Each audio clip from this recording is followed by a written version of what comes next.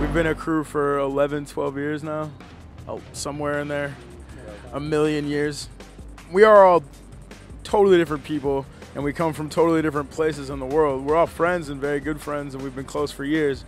So a lot of our ideas are informed by knowing each other. But we talk about our own individual views on what it's like to be alive, what we see every day. How do we personally treat other people?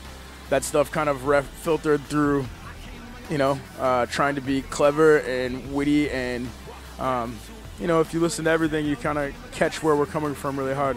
Um, I feel like we make really honest music, honest being authentic to our- ourselves. Nothing would sound more incredibly lame than us talking about gun violence or something like that. So we don't do that. We don't talk about like selling drugs because you don't want to hear that from. I mean, he ta- his as a mostly, you know, love lost communion and gun violence from my.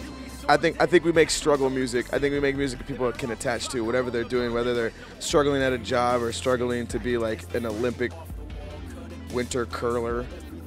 Um, we had we had a fan. No, we had a fan at the Winter Olympics that was a curling champion. And he did curling, and he would listen to my song. He would listen to my song "Prize Fight" before he went.